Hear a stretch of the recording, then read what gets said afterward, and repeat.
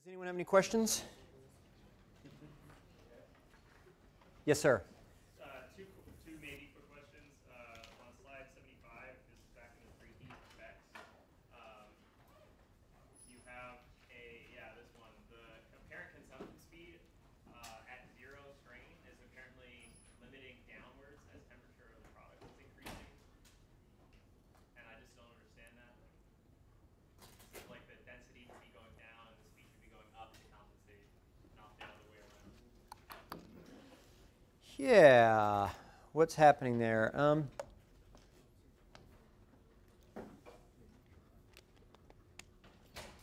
uh, okay, so I think probably what's happening there is this, these kinds of flames are a little bit goofy because they're, they're not symmetric.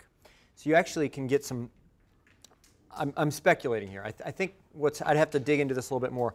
What's happening with these kinds of flames is, is that you, um, when you have these non-symmetric configurations where you're stagnating reactants into products, a typical temperature profile might look like this.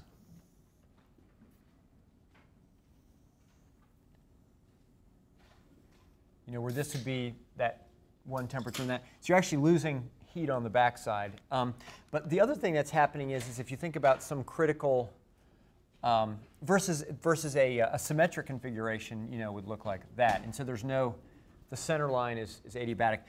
But what also happens is if you were to plot something like a, um, an H radical or something like that, you know, that would also look like this. And you're basically losing, losing these um, critical radicals to, to the product side. I'm guessing that's probably what's happening there. I'd, I'd have to, you'd have to actually dig into what the different species profiles are, but uh, it's because of that, the fact that it's not it's not symmetric and you're losing stuff to the products. Second quick question. Um, you, you mentioned that there's this critical Damköhler number below which there's, still a triple point, but we're not advancing an edge. And then you said, but the density ratio can also help you advance the edge. Does that ever move that critical Damköhler number below? Yeah. So remember um, when I talked about density ratio, this particular scaling applies to very, very high. This, this density ratio, this is a non-premixed situation at high Damköhler numbers where you have the triple flame structure. So the reason for this scaling is very much a function of the fact that you have this structure and you basically get this curved front which gives you this divergence. I don't know what would happen um, when you lose the triple flame, but I feel pretty confident that you would lose this scaling. That answer your question? Yeah. Okay. I apologize. I'm supposed to repeat the questions and I forgot. Um, I'll try to remember. Help me remember to repeat questions. Anyone else have a question? All right. Okay, so just a couple things. Just I have here. I'm going to have to start moving a little bit quicker because I I took too long. I've been too long-winded here.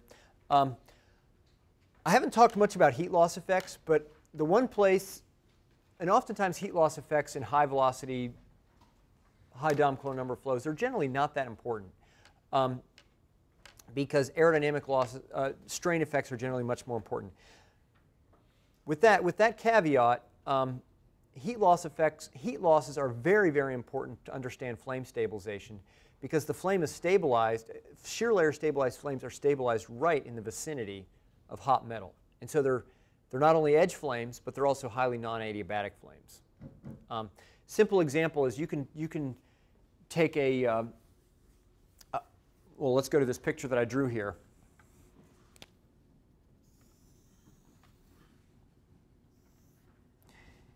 You can, you know, if you do a controlled experiment where you can change the edge, the, the temperature of the, the metal, you could really, really significantly change blowout limits.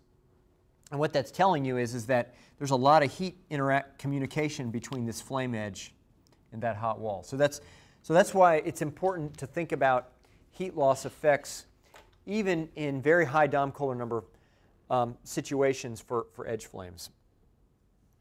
And so what heat losses can do is they can actually cause negative edge speeds or basically extinction even at high Damköhler numbers. And that, that, I don't think that would be surprising to any of you, um, but it's just it's borne out. And here's some data. This again is data from, from Paul Ronney. Uh, you know, these are dom, this is a, a data for non-premix flame Damköhler numbers, heat losses, and just showing you that, you know, uh, you get too much heat loss, you go from an advancing front to a retreating front or global extinction. Um, let's see. Now I want to dig into this fact. I want to talk about this, this fact that um, within this hysteresis zone, there is a region where edge where flames can be propagating or retreating fronts. And I, I want to just kind of walk through, let's, let's do a, a thought problem here. And let's assume that I have a, a strain profile that looks like this. This is some spatial coordinate. This is, some, this is the stretch rate. And let's assume that the stretch profile, you know, so, again, thought experiment so I can do whatever I want. You know, I can magically impose at time t equals 0 this stretch profile. All right? And um, Kappa extinction denotes the extinction stretch rate. So we know that if the stretch rate exceeds kappa extinction, the flame goes away, right? But we also know, let me just back up a few slides, that this would correspond basically to that, although it's not in the same terms, this would sort of correspond to cap extinction value, you know, if I was plotting. But we also know that there's a range of values that once you have a flame edge, if you had a, if you had a kappa value within this range, once you create an edge, that edge will, will um, continue to grow, right? So what happens is, is that, again, at time t equals 0, I have the strain profile. So I'm going to have a hole. The flames will extinguish at points where the, the stretch rate is greater than extinction stretch rate.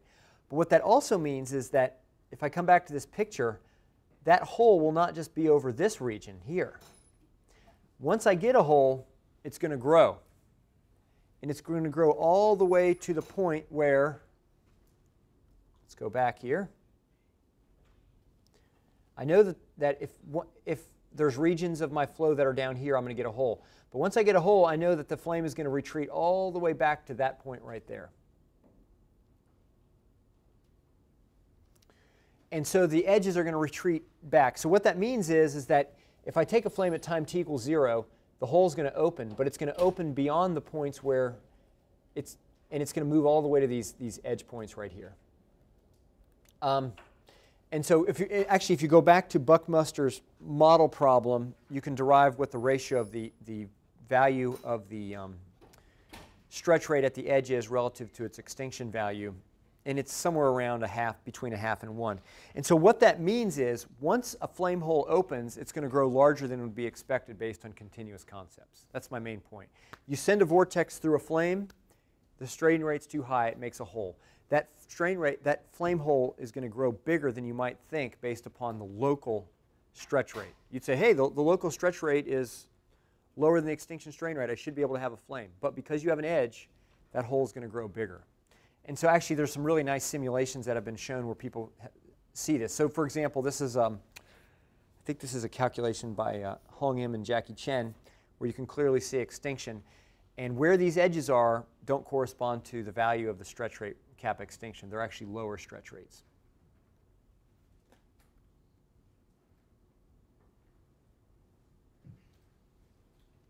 Now, I think edge flame edge flames is a is a very, very uh, understudied problem. There's so many things that we don't know about them, but they're so important because any real situation has edge flames, and all we have, you know, Buckmaster's edge problem, it's a wonderful problem to understand the physics, but we need more calculations, more experiments out there. And I, for those of you who are looking for interesting research problems, or for those of you who are young faculty members looking for problems, I think this is a great problem to look at because it's a wide open space. Um, it's not, it's, some things are, there's a lot of people, it's there's a it's a little bit crowded. This you won't. It's very uncrowded. Um, very very uncrowded. And there's so many interesting things that that we don't understand at all. I'm gonna I'm gonna wrap up my discussion here of, of edge flames and just say and, and so I hope I hope I think the, the main points I wanted you to see is that that um, continuous flame concepts can miss really, really important physics about, and, uh, but, but it's, it's an area that's not well understood. There's a lot more work. It's, it's much, much uh, less mature than, than the things that I talked about with flame stretch. Does anyone have any questions before I move off of edge flames?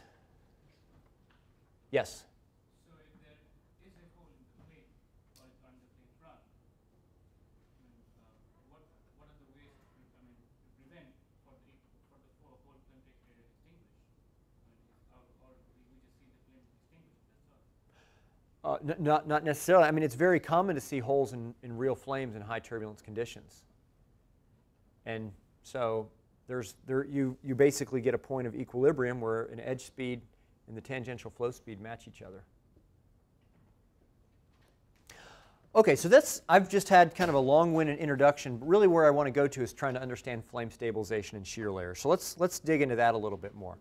So I think it seems pretty intuitive, you know, if we go, go to this picture here, for instance, that this flame, it's in a region of very, very high shear, and if the, if the stretch rate becomes too high, it's going to be bigger than cap extinction, the flame's going to extinguish. And, and data bears out this basic idea. For example, these are blow-off measurements where we're, where basically what we did was we calculated the fuel-air ratio at blow-off, excuse me, we measured the fuel-air ratio at blow-off as a function of flow velocity. And then we converted, we did a detailed kinetic calculation to calculate what the corresponding extinction stretch rate of that mixture would be. And you know, this is typical data showing that 1 over kappa extinction roughly goes as 1 on U. So you go to higher flow velocities, the flame extinguishes at, at lower equivalence ratios or, uh, excuse me, higher equivalence ratios or, or higher extinction stretch rates. So this is, this is kind of standard stuff, blow off boundaries. Um, but I want, I want to look into a little bit more here is what is the actual stretch rate that a flame sees? Okay, we know that if the stretch rate exceeds kappa extinction, if kappa is greater than kappa extinction, we could expect to see extinction, and we know that the flame would blow off. And kappa extinction is a reasonably well-defined quantity. You can calculate it. Um, but what's kappa? What is the flame seeing? So let's dig into that a little bit more. Um, so go, just going back to this, so in a high-speed flow, the reason that flames sit in shear layers is because the velocity is locally low in the shear layer, right? I mean, you, generally you're moving, you, know, you might have a very high velocity flow, 50, 100, 300 meters per second, but within some very small region, the flow velocity goes to near zero, approaches zero in, in your boundary layer. But those are also points where the, where the um, shear is the highest, right? And so we have to kind of balance thinking about flow velocities with thinking about stretch rates. So the conditions where the flame can sit is limited by the amount of stretch before they can withstand extinction. Now, just to give you a feeling for some numbers, if you had a 50, millim, 50 meter per second jet with a 1 millimeter shear layer thickness, then your fluid mechanics straining, okay, what I called S before, the, the fluid mechanics strain rate, that would be about 50,000 inverse seconds. So that's a big number. You know, if you look at all these numbers that I've shown you before, let's just flip back and just to get calibrated here. You know, these are extinction stretch rates of these methane hydrogen flames. You can see, you know, on the order of thousands. Um, let's see if I have some other results here. Where's the pressure? Oh, this 15 bar flame can withstand, you know, up to 75, up, up to about 70,000. The one atmosphere flame is extinguishing around 1,000. But anyway, at least for, but what this is telling you is, is that these fluid mechanics straining rates in, in, in, typical high velocity flows can be really, really high. But that's fluid mechanics strain rate. The question that I want to address now is what is the flame stretch rate? Remember, I emphasized this before, is we have to differentiate fluid mechanics straining and distortion of fluid elements from stretching of flame elements. So how is flame stretch related to flow strain in a shear layer? Okay, so as we talked about, there's, there's a couple different sources of flame curvature, of, of flame stretch. You can have flame curvature, you can have unsteadiness, you can have hydrodynamic strain. What I really am going to be focusing on in this discussion is hydrodynamic strain, the, the, the, um, the variations, the strain that's induced by, by gradients in the flow velocity. And so basically you can write the, what I called kappa S in this way. So we'll, we'll, we'll assume that the flame is flat for now. All right, and here's, a, here's, here's my, my, um, the geometry that I want to look at. So here is, I have the flow going up. Flame is, is attaching at this point. It's spreading at some angle theta. Um, and then it's attaching at this point. and I want to figure out what is the flame, what is the actual stretch rate the flame is seeing. Okay, now just for reference, the fluid strain rate, S, here I wrote it in tensor form. Remember, it's 1 half dui by dxj. This is a tensor. How is flame stretch related to flow strain? That's what I want to talk about. All right, well, so what I want to do is I want to dig into this expression for flame stretch a little bit. And what I'm going to do is I'm going to assume that I have a two-dimensional problem, just for simplicity, and I'm going to assume that the flow upstream of the flame is incompressible. And so by assuming incompressible, what I can do is I can say that you know dux by dx is equal to negative duy by dy. Um, and if I do that, I can write out this expression for the flame stretch. And basically, I don't want to spend a lot of time on the equations, but the main thing I want to point out is there's two key contributions. Now remember, there's two ways that you get flow strain. You can, you can have normal strain, so if you take a fluid element like this, and if it's an incompressible flow, you can deform it like that. That's due to normal strain, right? Or, and so that's this term right here, duz by dz. So remember my coordinate system. So in other words, a variation in the z flow velocity, in the z component of the flow velocity in the z direction. Um, and by continuity, if the flow is if there's a gradient in this direction, that means there has to be a gradient in the flow velocity in the transverse direction, the, the, transverse flow velocity in the transverse direction. And so, for example, if I had a flow that was accelerating in this direction, it would have to be squeezing in like that for continuity, and I would take my fluid element and do that. So this is normal strain. How does normal strain give me flame stretch? That's what I want to talk about now. Okay? Um, and the reason I want to do this is we've talked about these kind of canonical geometries, you know, these stagnation flows, and you might say, well, no real flow looks like that. So I want to, I want to look at a more interesting looking realistic flow where it's not a stagnation. So this is normal strain. The other way that I can strain it, if I took this fluid element and I could shear it, right? Sorry. Um, come over here. You have to be more assertive. Okay, guys? Don't, don't be afraid to be assertive. I'm, I'm very forgetful. Um, so what I drew was, so you can have this fluid element, normal strain as it goes to that, shear strain, it goes to that. So how does this straining lead to flame stretch?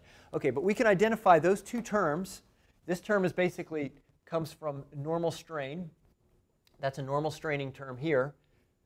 Um, and then it's multiplied by some stuff related to flame normals, which converts flow strain multiplied by that gives me flame stretch. Okay?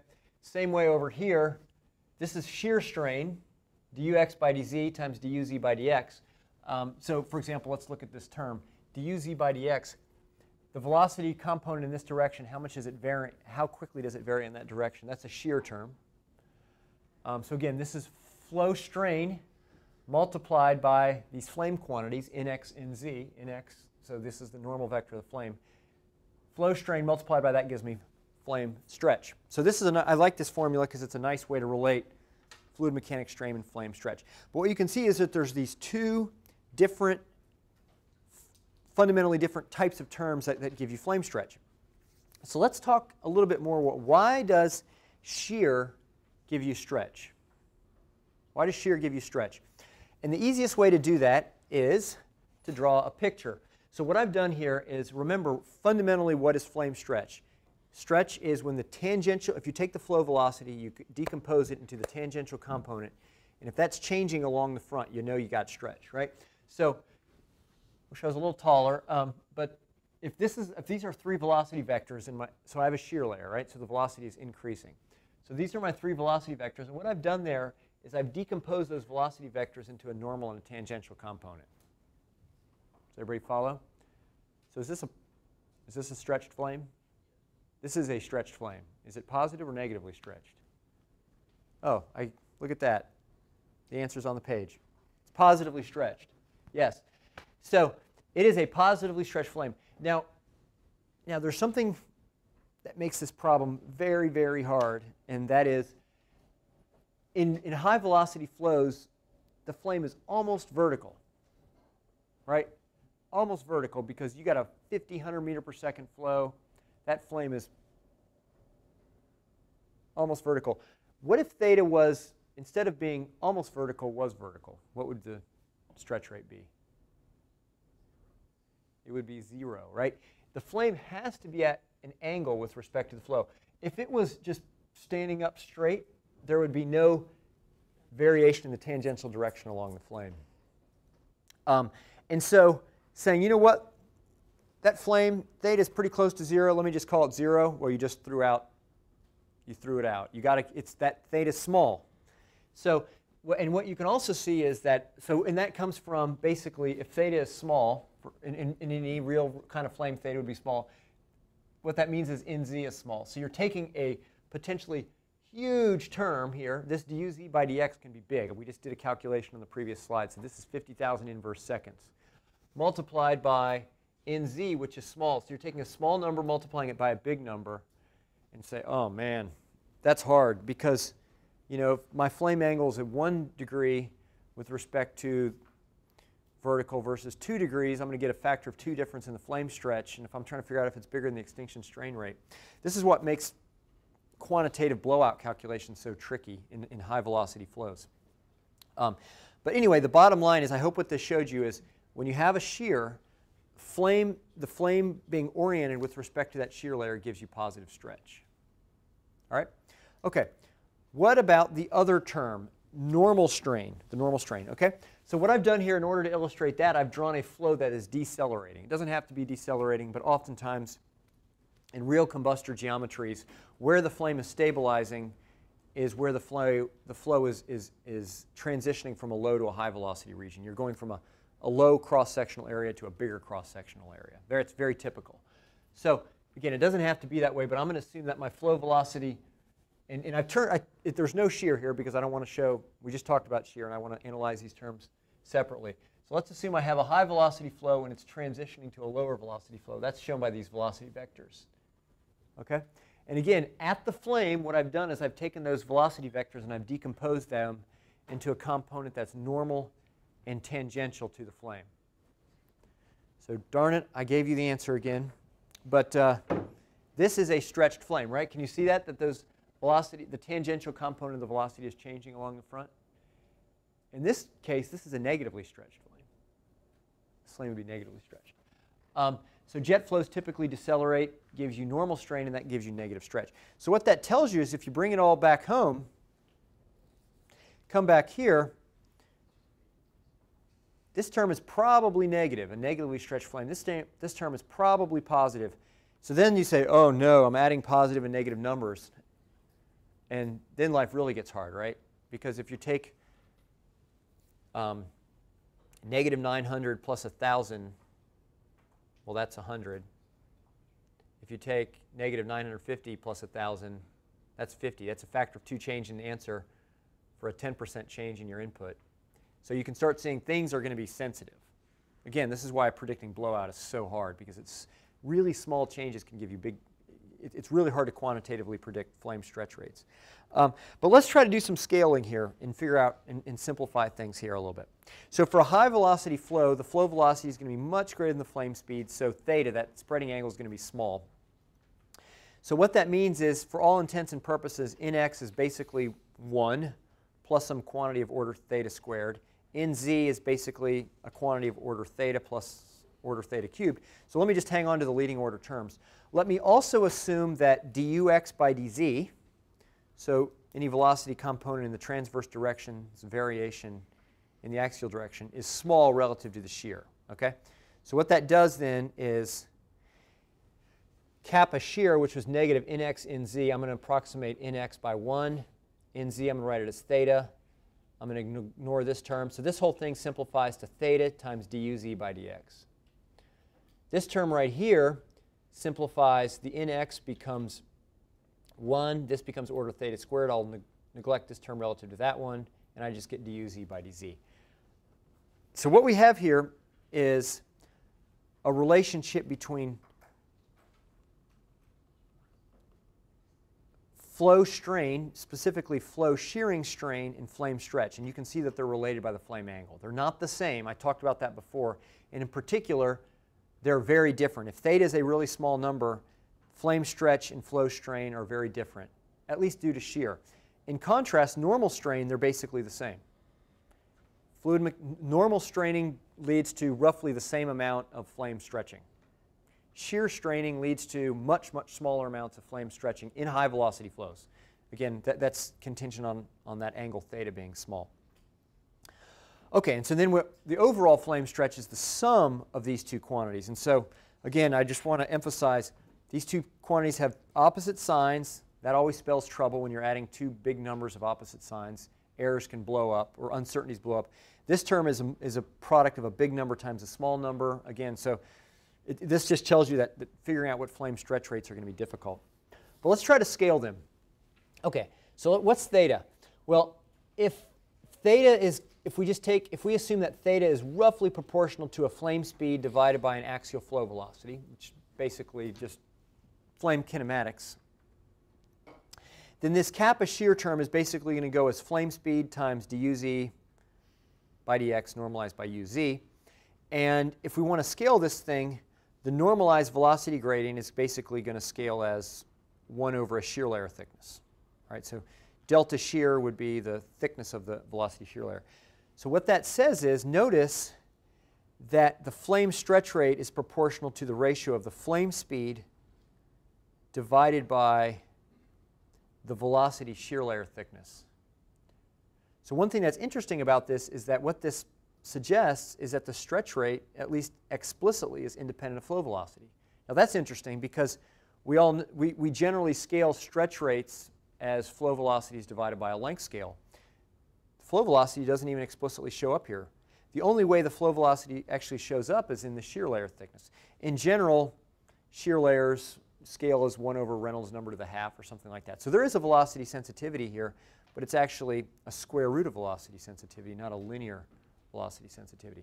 And so for any of you who do blowout work, this is just, it should sort of send off a, a little bit of an alarm bell because again, we oftentimes scale stretch rates or, or, or flow times as scaling with velocities divided by length scales. And this suggests that at least the shearing part doesn't have that scaling. It's, a, it's more of a square root of velocity. Um, the, the normal strain, do you, uh, du, dz, by dz, well, that, that, that follows a much more traditional flow scaling approach. We can scale that as the axial flow velocity divided by some characteristic length scale. And this is kind of the traditional um, flow time scaling approach that you would get. But again, the overall flame stretch is the sum of these two terms. Um, whoops. And, and so, like I said, the, the overall stretch is the sum of those two terms. They're opposite sign, more than likely. So which term dominates, it's not immediately clear. Um, just to show you, this is some data from the literature of showing flame stretch rates right at near the flame attachment point. So these are normalized strain rates. They're basically strain rate divided by 44,000 inverse seconds as a function of distance downstream. So it's the first 20 millimeters. These are those it's kind of a complicated plot. These different symbols denote the different contributing terms. So if you back up um, you know, to this expression, there's four contributing terms. We've plotted all four of them here. But the dominant term is this one, which is positive.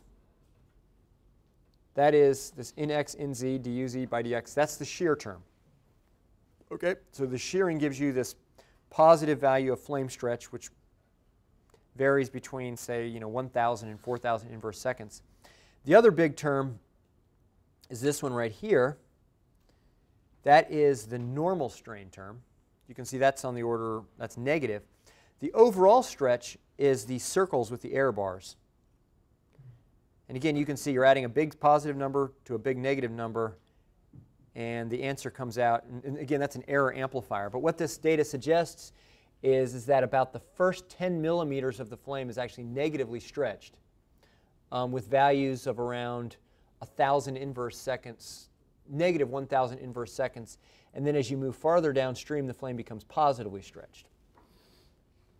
Um, and so then what you, you would do is you could compare these, these stretch rates to, flame stretch rates to extinction values to figure out whether the flame could actually survive under those conditions. Does anyone have a question? Hope this gives you a, a little bit of appreciation, you know, that the whole flame stabilization problem, very, very interesting interconnections between fluid mechanics and, uh, and kinetics. Now, I think just for the sake of time, I'm going to skip over these next two slides and I want to jump down here. And I specifically want to talk a little bit about bluff body stabilized flames and, and blow off and talk a little bit more, more what's happening physically.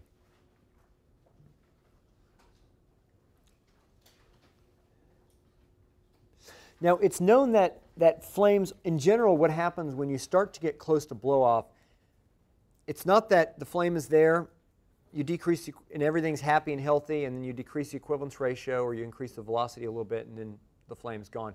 Usually, what happens is, is that the flame starts to get really unsteady. It starts to flap around all crazy. It starts to get holes in it. Things start happening. You know, these are just some, some images of a, a, a flame near blowout, you know, different sequences of time. You can see this hole that opens up in the flame. You can see it convecting downstream, see it healing itself. These are some other images. These are luminosity images. You can see um, extinction downstream, and, and, so forth. And so generally, what we've uh, suggested is that there's really three stages to blow off. The first stage is where the flame is, um, you basically, the, the, the, the, the flow and the flame basically look like they do under healthy conditions, but what happens is you, you start to get these local extinction events. Every now and then you get a hole in the flame, and you'll see it here. And as you move closer to blow off, these happen more often. So you can calculate, you know, you could measure or, or calculate um, average number of extinction events per unit time. And you'd see that it would start to monotonically rise as you start getting closer to blowout. And then at some point you move into what we call the second stage, which is where you got so much extinction that you're actually starting to have large scale changes in what the flow is doing. So um, you might, you know, you might have a, if it's a bluff body stabilized flame or a backward facing step stabilized flame, you might all of a sudden the flame would just be, be very, very unsteady. You might see the onset of vortex shedding, whereas you hadn't seen it before. But, but the whole idea is, is your, your, your basic, the, the, the, the degree of disruption of the flow in the flame is so severe that it's just a completely different animal. And then the whole thing blows off. Um, now, a very standard approach for capturing, for scaling blowout limits, I called it the Damköhler number scaling, but let me just be a little bit more general. Um,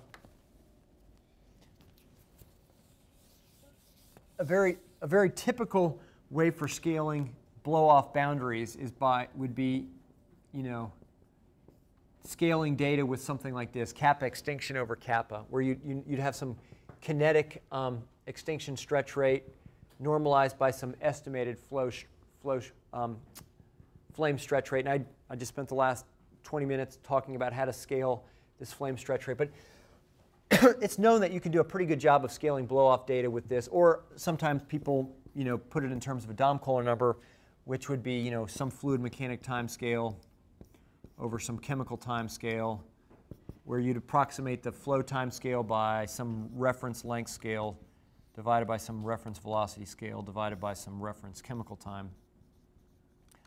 Um, and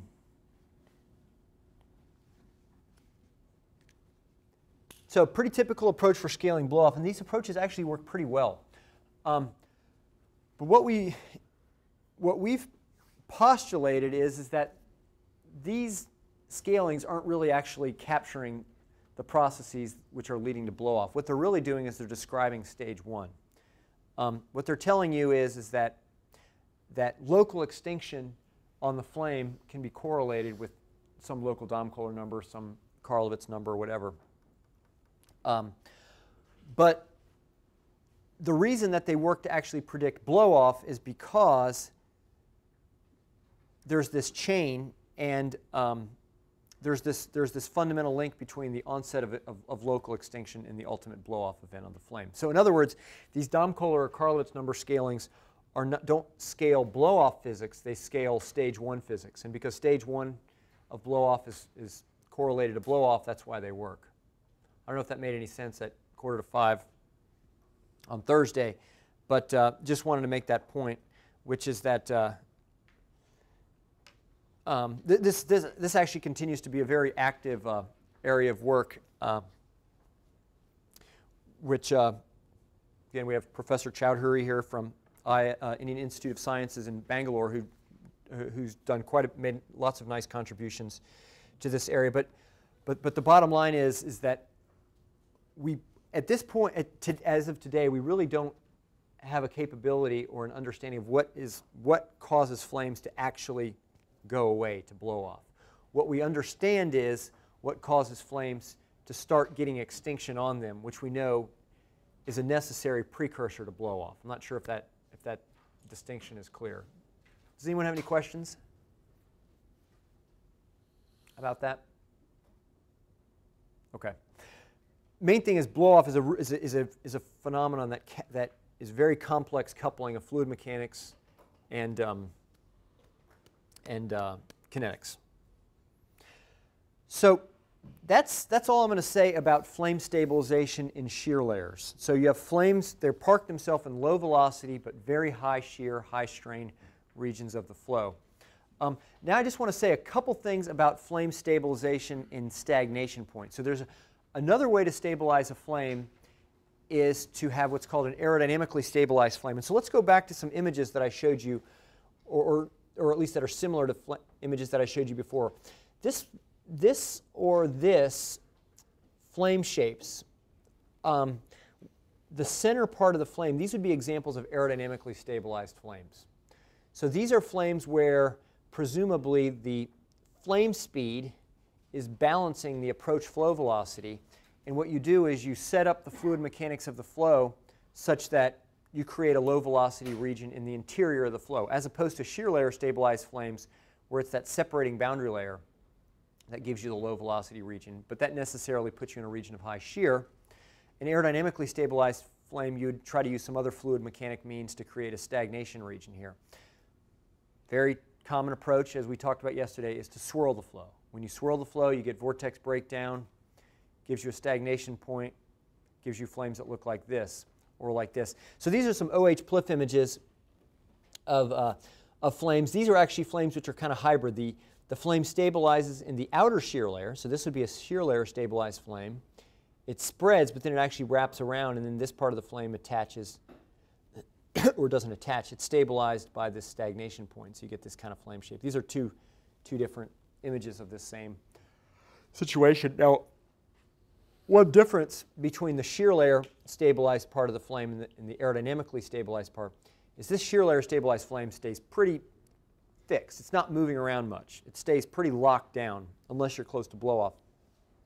This part of the flame is actually bouncing around quite a bit because while there might be a time average stagnation point, instantaneously that stagnation point is moving all around the flow. It might be precessing, it might be spinning around. So the whole leading edge of the flame would be precessing off center. We see that a lot. Um, now, in contrast, these flames over here, these are shear layer stabilized flames. So it's stabilized both in this inner shear layer of this annulus and this outer shear layer. Um, these are some other images.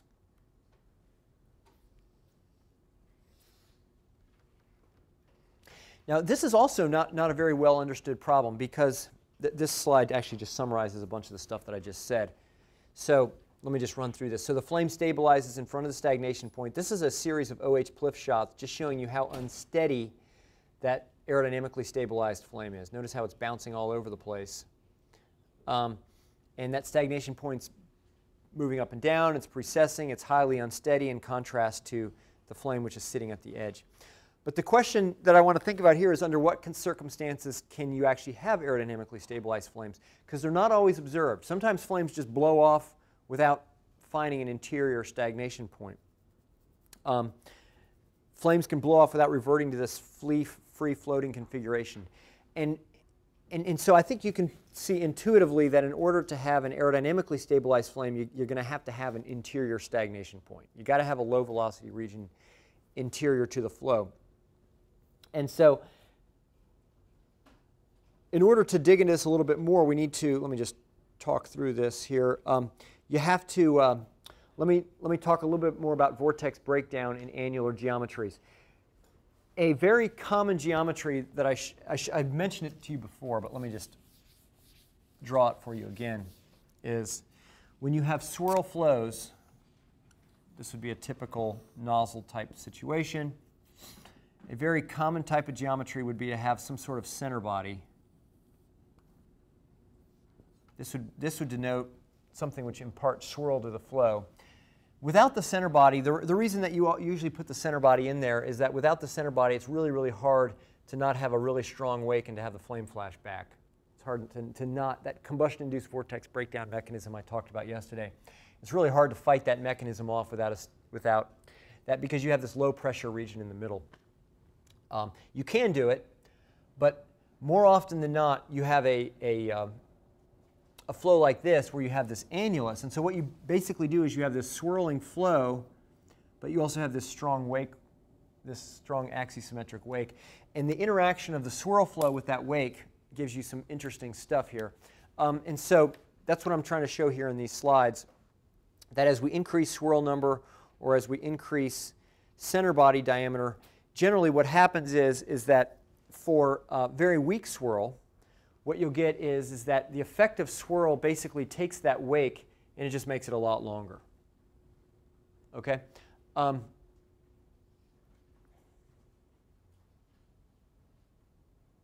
if you, uh,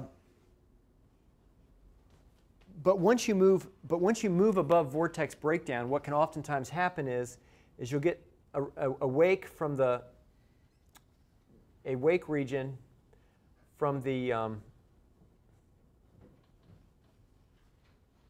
center body, and then you'll get this vortex breakdown region here.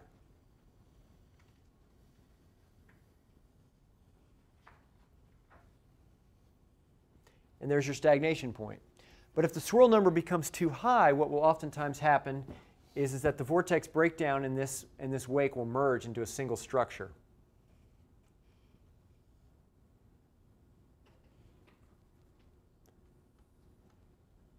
And if that happens, the only place you have a stagnation point is right there. So the, um, this is where fluid mechanics of swirling flows really, really matters for flame stabilization because it turns out that whether or not you get an aerodynamically stabilized flame is a very strong function of the degree of interaction of the vortex breakdown bubble with the, uh, the wake of this center body. If you don't have a center body, aerodynamically stabilized flames are easy. They almost, you almost always get them because you don't have this issue, but you, you do have the flashback concern. But once you have the center body, it turns out that oftentimes you don't get an interior stagnation point, and so therefore you only get shear layer stabilized flames. It's, it turns out it's actually tricky to get aerodynamically stabilized flames because of that interaction. And that's what I've tried to draw on this slide here, where, for, where you would have two separate structures, the wake, the vortex breakdown bubble. There's a nice interior stagnation point. You'll have a, a flame sitting there. Whereas here they're merged and you simply can't get a um, interior stagnation point. So what would happen would be, let's suppose that you are moving towards blowout. And, and, in both of these, let's suppose that initially you had a flame stabilized in this inner shear layer. All right? If this inner shear layer, if the shear sh rate got too strong and the flame locally blew off of this inner shear layer, that doesn't mean it would completely go away because what would happen is it would just move downstream and catch itself at this stagnation point. Whereas in this geometry, if you lost the flame in this inner shear layer, there's nowhere else for it to sit and it's gone.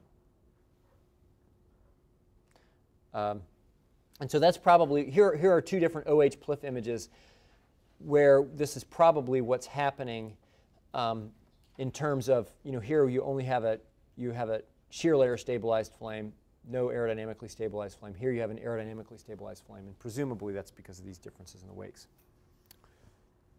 One last point I want to make, it's 458, um, is, is that, again, when we talk about aerodynamically stabilized flames, we're almost always introducing swirl flow concepts. Last thing I want to make, how many of you work with swirl flows? Okay. Don't forget your downstream boundary condition is my parting words to you. Swirl flows are very sensitive to downstream boundary conditions. You know, I run experiments all the time and I get a little sloppy with my boundary conditions. I work with some of my colleagues who do CFD and they knock me around and make me get right about it and they, to worry about boundary conditions. But, you know, oftentimes at the end of the day, you run your experiment. You know, you might run an open flame out in the lab, or you might confine it. You don't really worry about degree of contraction, what's or downstream, or something like that. Turns out swirl flows are very, very sensitive to what's happening downstream. So, a, a simple example would be. Let me just draw you two, two situations here.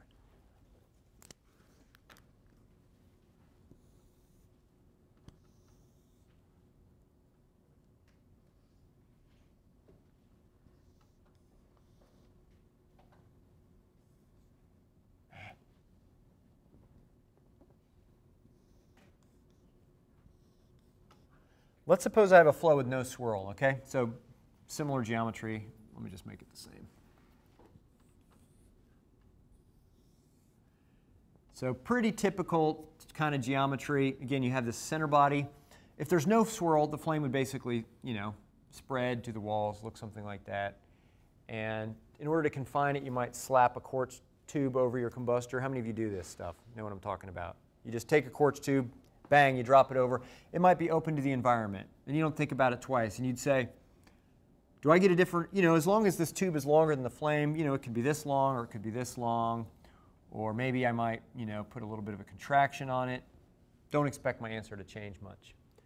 As soon as you start getting above breakdown, if, if you start swirling this flow, I can tell you that the structure of the swirl flow is going to be very, very sensitive to what happens downstream. You can get completely different flame shapes as you, if you, for example, vary the degree of exit contraction. Wouldn't happen. If it wasn't swirling, it couldn't care less. It would have a very, very, very little impact. But swirl flows are very, very sensitive to that.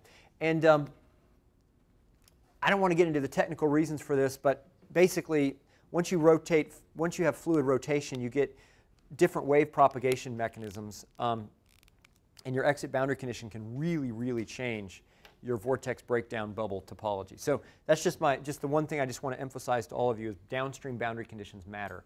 You can get very, very different flame shapes. And, and just to just to illustrate that, let me just jump back to a slide that I showed you before. To, to, when I was trying to motivate all this stuff, I talked about, if you remember I showed you the, you have these different families of flame shapes. And in this particular case, we go from 1 to 2 to 3 to 4 as we increase equivalence ratio. Well, it turns out that that configuration 2 and 3, whether or not you even get that configuration 2, totally depends upon what your downstream contraction ratio is. As, as we, we actually did these experiments where we, as you increase contraction ratio, you just jump straight from 1 to 2. You don't even get configuration, excuse me, 1 to 3, you don't even get configuration 2. But it's one of these phenomena that, that swirl flows are particularly sensitive to your, to your downstream boundary conditions, even in very, very subsonic, even in you know, very subsonic flows. Okay, does anyone have any questions? All right, so what we're going to do here is, um, shoot, um, just, just so you can all reflect this evening on tomorrow, reflect and prepare profitably. We've talked about flashback, we've talked about blow off, and, and, and, from both of those we reverted, we looked at some more fundamental stuff. We talked about flame aerodynamics, we talked about stretch, edge flames. Tomorrow, what we're going to do is we're going to talk about time harmonic phenomenon largely. All right? We're going to start by talking about disturbance, propagation, and reacting flows. And we're going to talk about how flames respond to harmonic excitation. So we're going to move away from transient problems, extinction, things like that, and start thinking about time harmonic combustion problems. All right, so have a good evening. Thank you all.